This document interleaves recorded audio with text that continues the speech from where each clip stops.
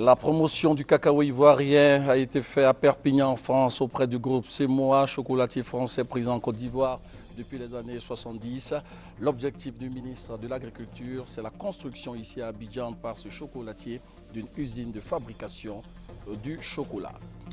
Célébration de l'excellence dans le milieu des journalistes. Pas de lauréat pour l'édition 2013 à du prix Ebony organisé par l'UNJCI. Le niveau des, productions présentées par les candidats jugés moyens par le jury. En Chine, le Parti communiste a approuvé la fin de la politique de l'enfant unique. Les couples peuvent maintenant avoir deux enfants si l'un des parents est unique. Ce sont les principaux titres de ce 20h, le parcours de l'actualité nationale et internationale en une trentaine de minutes. Commençons par cette concertation qui s'inscrit dans le cadre des préparatifs des élections générales en 2015 en Côte d'Ivoire. Le président de la commission électorale indépendante et l'ambassadeur des États-Unis en Côte d'Ivoire ont échangé sur ce processus électoral avec un accent particulier sur la révision de la liste électorale. Serge Collet pour en savoir davantage. Le président de la CEI, la commission électorale indépendante, Youssouf Bakayoko et son excellence Terence McCulley, ambassadeur des États-Unis en Côte d'Ivoire, ont longuement échangé sur le processus électoral à venir en Côte d'Ivoire. Considérons qu'il est très important pour la Côte d'Ivoire d'avoir une élection en 2015 qui, est, qui se passe dans la paix, dans la tranquillité, et qui est une élection inclusive. Donc le rôle de la commission électorale indépendante est très important dans tout ce processus. C'était une bonne conversation et j'étais encore une fois très honoré d'avoir reçu une audience par Monsieur le Président. Pour le diplomate américain, le rôle de la commission électorale indépendante est d'une importance capitale dans le processus électoral futur. Cette rencontre est donc enrichissante pour lui, a-t-il indiqué. Les États-Unis vont appuyer la Côte d'Ivoire dans la révision de la liste électorale. Son Excellence Terence McKelley, le nouvel ambassadeur des États-Unis en Côte d'Ivoire, a présenté ses lettres de créance au président de la République le 21 novembre 2013. Des députés de la coalition de partis politiques au pouvoir regroupés au sein du G25 sont favorables à une candidature unique au sein du RHDP pour la présidentielle de 2015. Le G25 prône la candidature unique du président Alassane Ouattara à l'élection présidentielle. Le G25 a donné officiellement cette information au président du MFA, Anake Kobena, président du parti politique du RHDP, le compte-rendu de Sidonie Davila et Brou Léon pour le rendu. Après le RDR, le G25 chez le président du mouvement des forces d'avenir, MFA. Objectif, expliquer à Anatie Koubena l'idée de la candidature unique du docteur Alassane Ouattara pour le compte du RHDP à l'élection présidentielle de 2015. Au-delà du RHDP, c'est une invite que nous lançons à toute la nation ivoirienne pour que cette nation-là comprenne que le premier consensus national autour du président Oufouboy nous a donné le premier miracle économique. Donc nous invitons la nation à réaliser le second consensus national autour du président Alassane Ouattara pour avoir le second miracle économique. Adhésion d'Anati Koubena à la démarche du G25. Le président du MFA étant du reste l'un des premiers militants pour ce consensus. Il est important que le RDR et le PDCI trouvent toujours les moyens de faire chemin commun. Vous avez osé, vous allez aller de l'avant, n'hésitez pas, allez-y. Mais croyez à ce que vous avez pris, vous avez forgé comme bébé, il faut y croire. Et portez ça haut, portez ça loin, ne vous laissez pas Le G25 compte, en plus des députés issus des partis politiques membres du RHDP, des parlementaires élus sous l'étiquette indépendant. Conduit par Frébo Basile, député de Sassandra, ce groupement annonce des tournées à l'intérieur et à l'extérieur du pays pour promouvoir ce consensus. Et comme annoncé dans les titres, le ministre de l'Agriculture, Mamadou Koulibaly Sangafoa, était à Perpignan, dans le sud de la France, où il a été question de faire la promotion du cacao ivoirien auprès du groupe CEMOA, chocolatier français qui utilise le cacao ivoirien pour la fabrication de la tablette de chocolat. Le nouveau centre d'expertise cacao et chocolat du groupe français CEMOA, inauguré en présence du ministre ivoirien de l'Agriculture, a été marqué par une conférence de presse, au cours de laquelle Mamadou Koulibaly Sangafowa, parrain de la cérémonie d'inauguration, s'est prononcé sur les investissements du chocolatier français en Côte d'Ivoire et sur sa contribution dans la promotion du secteur agricole ivoirien en général. En 2012, le groupe Semois est le premier transformateur à développer une offre commerciale spécifique au marché ivoirien à partir du cacao produit localement. De plus, en 2012, le groupe Semois a inscrit le projet PAS dans le programme national d'investissement agricole de notre pays. Je voudrais remercier et féliciter donc le groupe pour son action dans la mise en œuvre du PDA. Par cette action, il témoigne de l'intérêt que le groupe accorde au vaste programme de relance du secteur agricole engagé par son Excellence Alassane Ouattara, président de la République de Côte d'Ivoire.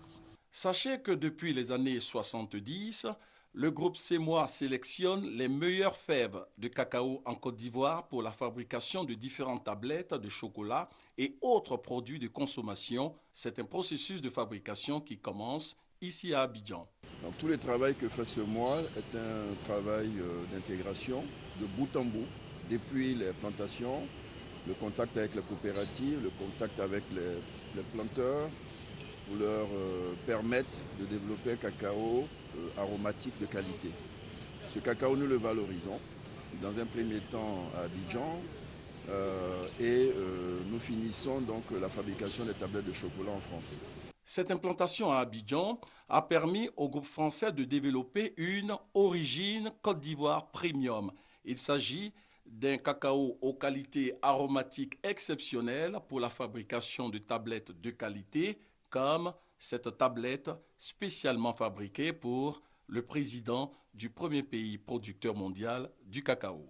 Son Excellence Alassane Ouattara, président de la République de Côte d'Ivoire, en remerciement de vos efforts pour la filière cacao, je suis honoré de vous faire parvenir une tablette de chocolat 100% cacao de Côte d'Ivoire du chocolat pour le chef de l'État en cette fin d'année 2013, mais surtout du travail pour les Ivoiriens en 2014 par la construction d'une usine de fabrication de chocolat en Côte d'Ivoire par le groupe français. Après Perpignan, le ministre de l'Agriculture s'est rendu à Paris où il a eu une séance de travail avec son homologue français Stéphane Le Foll. Les échanges ont porté sur la relance du Sahara le Salon de l'agriculture et des ressources animales, la création du centre de formation professionnelle agricole et la sécurité alimentaire. Et ici en Côte d'Ivoire, l'actualité dans le secteur agricole, c'est aussi la mise en place de la nouvelle formule dénommée l'intercoton qui a vu le jour à l'issue d'une assemblée générale constitutive. Quelle est l'importance de cette nouvelle structure? Quels sont les objectifs visés par la création de ce nouveau cadre de concertation entre producteurs de coton? La réponse avec Noël Nyangyo. Avec la réforme des filières coton et anacade, l'intercoton doit compter en son sein tous les acteurs de la chaîne des valeurs, producteurs, égreneurs, filateurs, triturateurs. Une assemblée générale extraordinaire constitutive de cette nouvelle intercoton s'est tenue. Les tests conséquents ont été adoptés et un président a été élu, Thio Lassina. Il s'est fixé pour objectif augmenter la production et permettre ainsi aux usiniers de tourner à plein régime et procurer des emplois aux Ivoiriens. L'année prochaine, nous prévoyons au moins entre 400 000 et 450 000 tonnes. Je pense que c'est déjà important.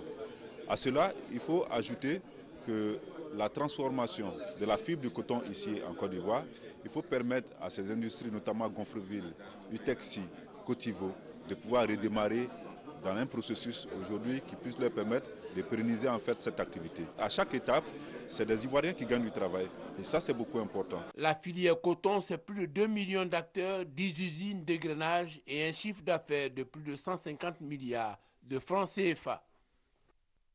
La Côte d'Ivoire peut-elle s'autosuffire en riz à partir de 2016 La réponse est oui. Elle a été donnée par euh, Yacouba Dambélé, l'invité du magazine du dimanche au journal de 13h. Autre interrogation, combien de tonnes de riz la Côte d'Ivoire produit-elle chaque année? À combien cette production doit-elle se lever pour rendre le pays autosuffisant en riz? La réponse du directeur général de l'Office national de développement de la riziculture. Aujourd'hui, euh, nous sommes partis d'une production de 700 000 tonnes en 2010. En 2012, nous avons atteint 984 000 tonnes. Et notre objectif pour cette année 2013 est de finir l'année à environ 1 million 3 400 000 tonnes. Nous avons une première phase qui veut que nous soyons autosuffisants en 2016 avec euh, environ 1 million 900 000 tonnes. Ça, c'est la première phase. La deuxième phase, 2016-2018, nous devons consolider cette autosuffisance par la mise en place de ce qu'on appelle les stocks régulateurs et, des stocks de, sécurité. Et la troisième phase, à partir de 2018, la Côte d'Ivoire doit être exportateur net de riz pour satisfaire notamment les besoins en riz des pays de la sous-région. Voilà, c'était un extrait du magazine du dimanche consacré à la production du riz dans notre pays, la Côte d'Ivoire. L'ONG Servir vient de sacrifier à sa tradition annuelle de l'arbre de Noël en faveur des enfants déshérités de Côte d'Ivoire. Léon Bro.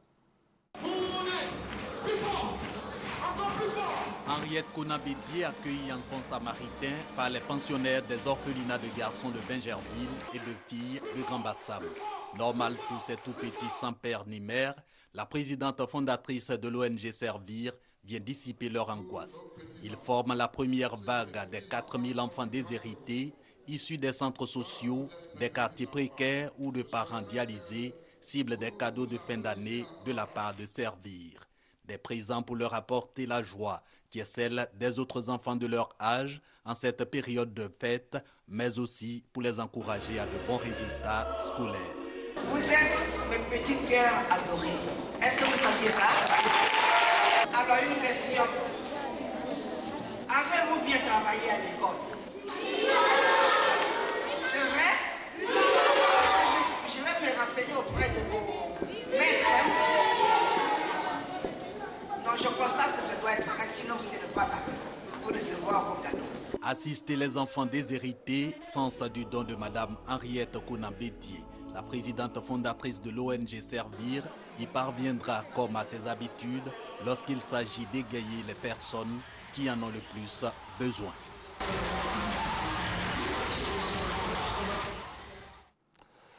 L'église du Christ Mission Harris de Côte d'Ivoire a 100 ans cette année. Elle a donc été créée en 1913. La célébration de ce centenaire a été marquée par un culte d'action de grâce à Ebounou dans le département de Grand Laos, suivant quelques temps forts de ce rendez-vous bilan. L'église du Christ Mission Harris, dite Église Hariste, célèbre ses 100 ans. Créée en 1919, les fidèles de l'Église entendent poursuivre l'œuvre du prophète William Wadé Harris, père fondateur de cette Église. Le patriarche Nangui Adjoko Faustin, président mondial de l'Église Harris, a, au cours du culte, exhorté les fidèles, mais aussi les Ivoiriens, à la paix, à la réconciliation et au pardon.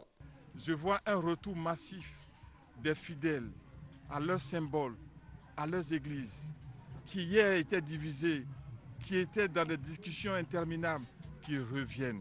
C'est un signe fort. Et tel que Dieu l'a fait pour nous, l'Église ariste, je suis convaincu que Dieu le fera pour la Côte d'Ivoire. Donc les Ivoiriens doivent comprendre une chose. C'est vrai, il y a eu division. C'est vrai, il y a eu querelle. C'est vrai, il y a eu bagarre. On a dit beaucoup de choses, mais soyons réalistes. Regardons ce que Dieu fait pour nous. Si nous ouvrons les yeux, nous allons voir ce que Dieu fait pour nous. Et nous n'avons pas à lutter contre Dieu, nous devons nous soumettre à la volonté de Dieu et de lui faire confiance. Aussi, invite-t-il le peuple de Dieu à la persévérance et à la sanctification, afin que les festivités du centenaire de l'Église soient une réussite. Un culte qui a vu aussi la participation des frères et sœurs des églises méthodistes et catholiques de Grand Laou. Parlons maintenant de la danse comme expression du riche patrimoine de la région du nord de la Côte d'Ivoire. La première édition de ce concours de danse traditionnelle à Chenou Pays a vu le sacre des représentants de Sokoro Odougou dans le département d'Odiéné. Samedi 28 décembre 2013, il est 15h. Nous nous trouvons dans les loges de la salle annexe du parc des sports de Trècheville où se déroule la finale du concours national de danse traditionnelle dénommé Hachenopi. On est beaucoup, tout un chacun va montrer son savoir, mais à moi j'ai confiance en nous. C'est la même agitation dans chaque cas. On profile la dernière stratégie. Je suis très heureux de représenter ma région. J'aurai la victoire. C'est Dieu, c'est Dieu, c'est Dieu qui va compétir du reste. Comme un signe des dieux, la culture ne saurait devenir le maillon faible d'un pays promis au destin du pays émergent. Au finish, ils étaient en nombre de 8 à s'affronter au son des balafons, des tambours, des djembés. Un spectacle plaisant pour les petits et les grands. Et quand vient la proclamation des résultats par le jury, un seul groupe jubile. Le brou de Sokoro Dougou d'Odiene décroche la palme d'or. Ce qui a permis au groupe brou de Sokoro Dougou de remporter cette édition, c'est l'authenticité de sa chorégraphie. C'est une danse qu'on n'a pas l'habitude de voir, mais la façon dont elle a été exécutée a été encore euh, plus belle. Mais pour le promoteur, l'honneur revient à la culture ivoirienne. Quand on parle de culture, on a ensemble des BT, on a ensemble des Senoufo, on a ensemble des Djoula, on a ensemble des Baoulé. Donc c'est un moment de partage, de communion. C'est pourquoi cette première édition, on a donc mis ça, placé ça sous le sceau de l'unité et de la cohésion sociale. Grâce à ce succès, les danseurs du Sokoro Dougou prendront l'avion dans quelques mois où ils représenteront la Côte d'Ivoire au Festival Nègre de Dakar. Mais avant, ils se produiront sur le podium du Massa 2014. De la littérature avec la cérémonie de dédicace de l'œuvre qui a pour titre Le fils de la femme mâle. L'auteur, c'est le ministre de la Culture et de la Francophonie, Maurice Bandama. Officiellement, il a mis son œuvre à la disposition des lecteurs au cours d'une cérémonie suivie par notre reporter Laetitia Manglé. Le fils de la femme mâle une œuvre qui aura marqué son temps avec l'obtention du Grand Prix littéraire d'Afrique noire en 1993. Un conte romanesque qui a favorisé l'entrée de son auteur Maurice Bandama dans le cercle des meilleurs romanciers francophones, édité pour une seconde fois 20 ans après son succès. Le fils de la femme mâle, qui en 1993 a réinventé le rapport à l'écriture. Et donc, euh, je pense que son livre est une révolution en termes d'écriture. Vous savez, une œuvre littéraire est une œuvre d'art et comme telle, elle est appelée à défier le temps. Les grands prix littéraires d'Afrique noire, ça ne coupe pas les rues. L'éducation a besoin vraiment de cet important ouvrage.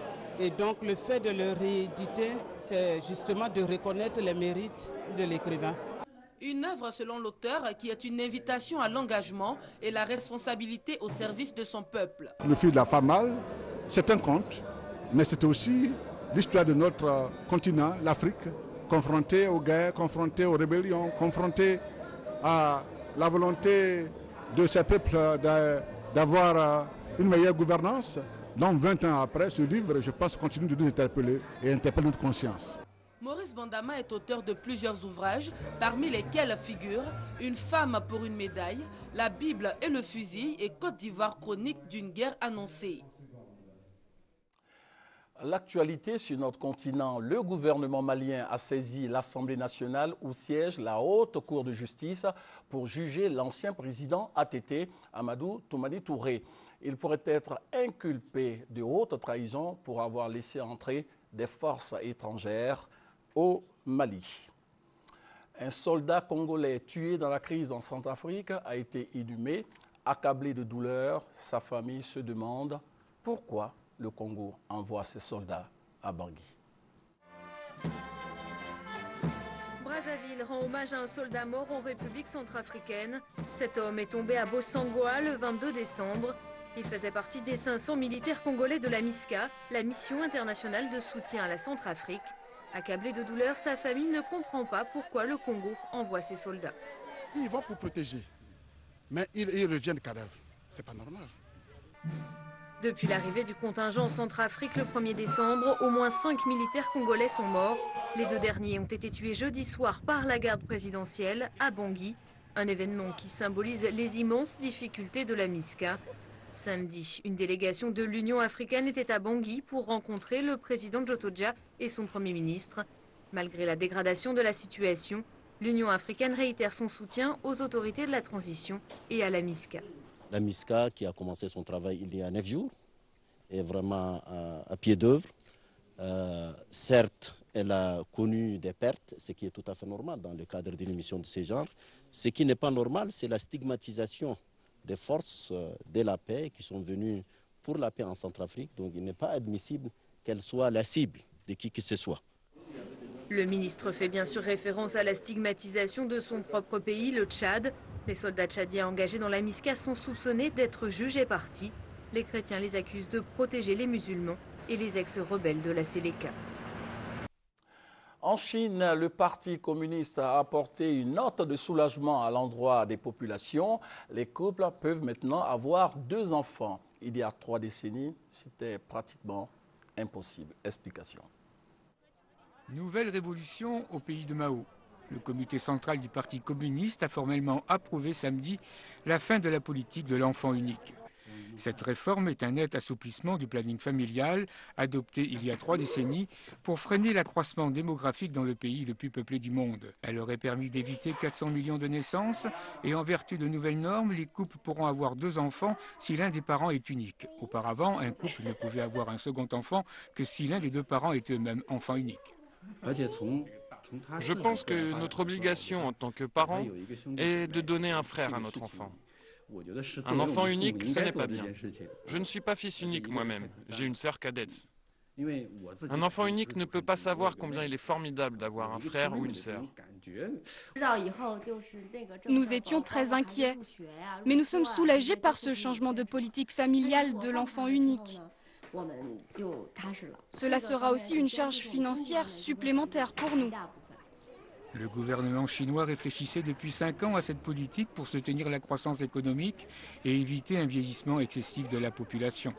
Le taux de fécondité dans le pays est de 1,5 enfants par femme et déjà très en deçà du seuil supposé garantir le renouvellement des générations. Le gouvernement doit prendre ses responsabilités et fournir une assistance complète aux parents, surtout aux plus âgés qui ont perdu leur unique enfant. Cette aide ne devrait pas être limitée à l'aspect financier uniquement. Cela doit inclure les soins, les services publics pour ceux dont les revenus mensuels sont faibles. Qualifiées de progrès crucial, ces mesures entreront en vigueur au cours du premier trimestre 2014. 10 millions de couples chinois sont concernés. Le reste de l'actualité à l'étranger, des brèves en images, en commençant par la Russie, où un attentat a fait au moins 18 morts et une cinquantaine de blessés. Il est 12h45 en Russie lorsqu'une explosion retentit dans la gare de Volgograd, une ville proche de la région instable du Caucase. Selon les médias russes, une kamikaze se serait fait exploser à l'entrée du bâtiment bondé de voyageurs. La déflagration a fait au moins 18 morts et plusieurs dizaines de blessés. Un acte qui serait donc terroriste et qui intervient à moins de six semaines de l'ouverture des Jeux olympiques d'hiver de Sochi aux portes du Caucase.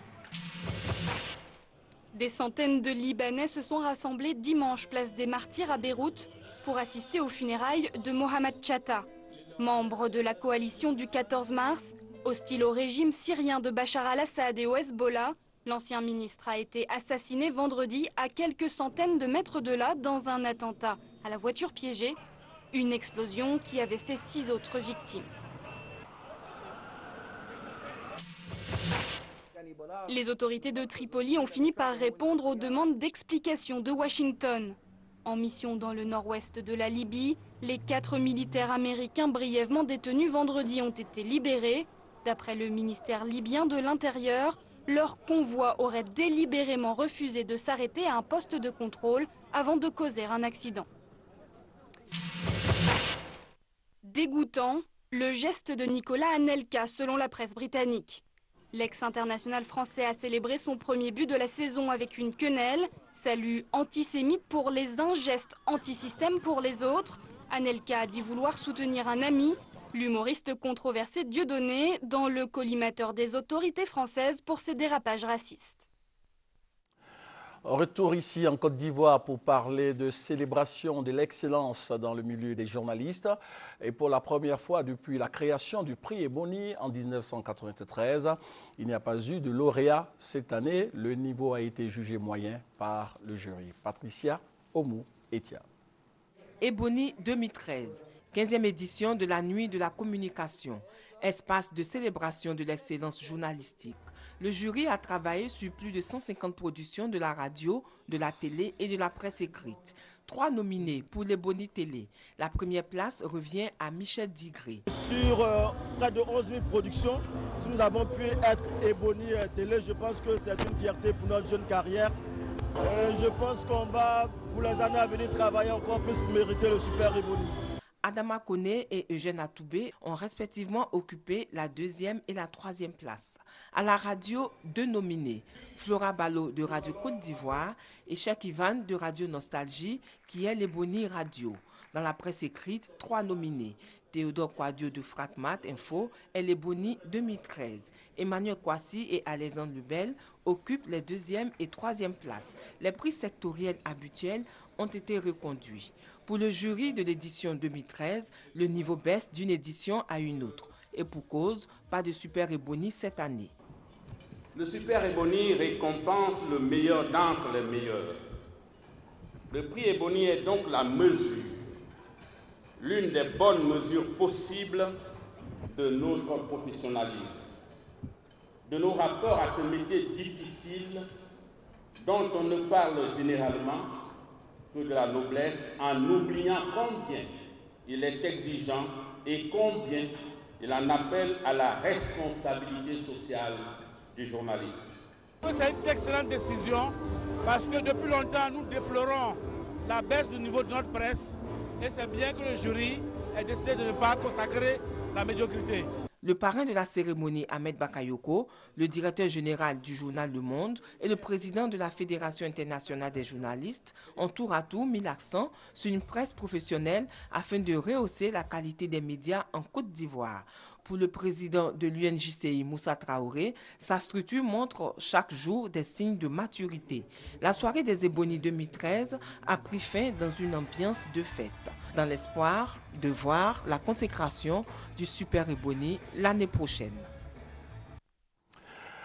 Bonjour 2014, le spectacle humoristique de la RTI a eu lieu dans la soirée d'hier, samedi au Palais des Sports de Trècheville, dans le district d'Abidjan. C'était un rendez-vous de bonne humeur pour aborder avec du sourire la nouvelle année qui s'annonce. Morceau choisi avec Serge Coléa.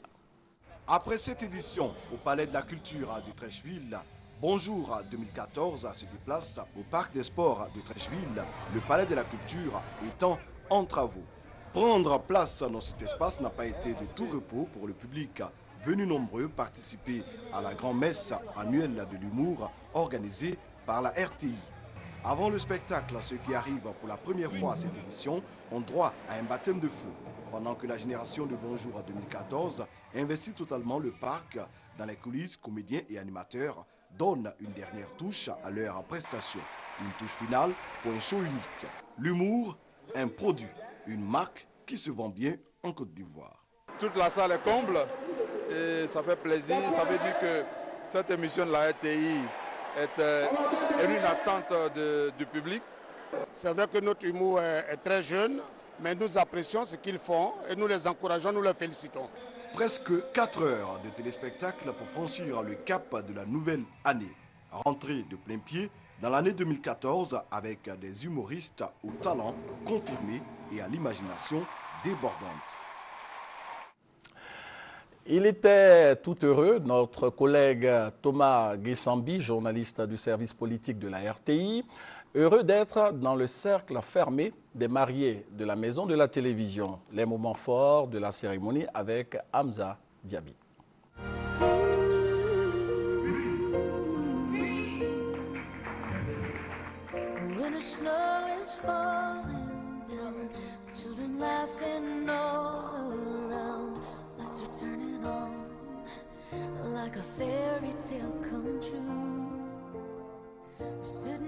Celui qui trouve une campagne trouve le bonheur, dit le livre saint. Thomas Gessambi a trouvé Paul Marina, il a trouvé le bonheur.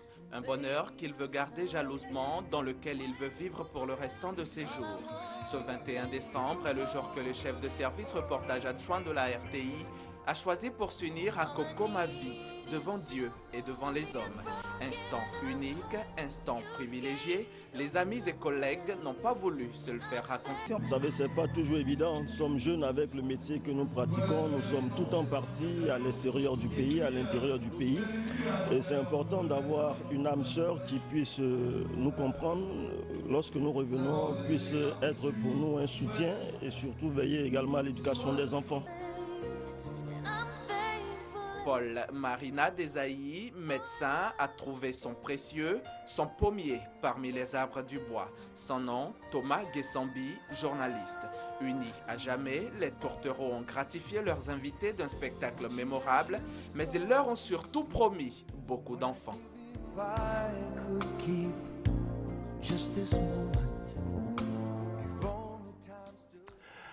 Nos souhaits de bonheur, de prospérité, mais surtout de promotion accompagnent ce couple Nguessambi. Fin de ce journal. Merci de l'avoir regardé, mais surtout, excellente suite de programmes sur RTI 1. Portez-vous bien.